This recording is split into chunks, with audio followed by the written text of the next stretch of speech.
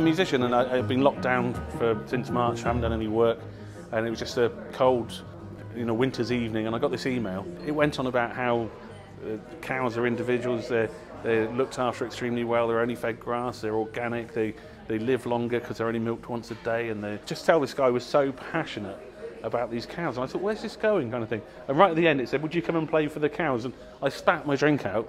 I just laughed for ages, you know, and I just thought this is amazing. Anyway, I went back to him and said, yes. I said, but do you mind if I put your letter on Facebook?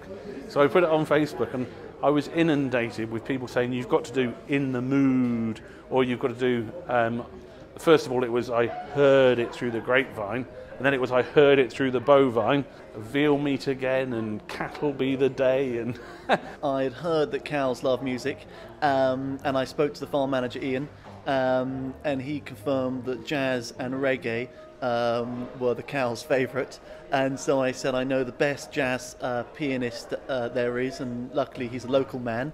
Um, and let's get him down to perform to the cows. The general idea is, you know, we love to treat the herd like they're all individuals. Uh, they've all got names. Ian knows them all um, individually.